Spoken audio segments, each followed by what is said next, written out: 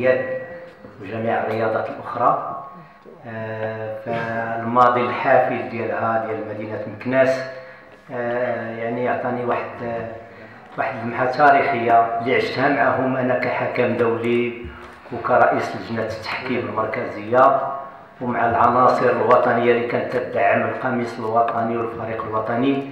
فأنا فخور أنني مثل الجامعة الملكية المغربية لكرة اليد في هذا المنبر تنشكركم تنشكر على الروح الرياضية اللي مرات في هذا الجو الأخوي والصادق والشفافية والوضوح اللي مر في هذا الجمع المبارك ديالكم. تنتمنى النادي المكناسي مسيرة موفقة والرجوع للألقاب وتعطيوه الدعم اللي تيستحقوا وتصبروا عليه واحد الوقت لتهيئ الأجيال المقبلة.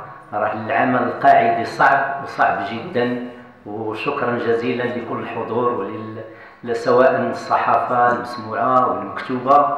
وكذلك الأعضاء ديال المكتب المديري الممثل ديال الشبيبة والرياضة والسيد الممثلين كذلك ديال المكتب المديري اللي هو الدعم الأول والأساسي ديال النادي. فمسيرة موفقة للجميع وشكرا للجميع بدون أن ننسى الطاقم ديال التحكيم ديال كرة اليد اللي معنا هنايا.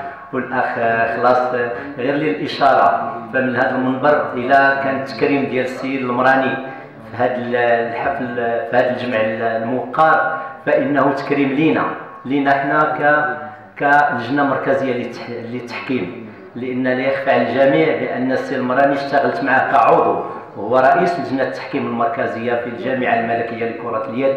فشكرا للجميع ومسيرة موفقة.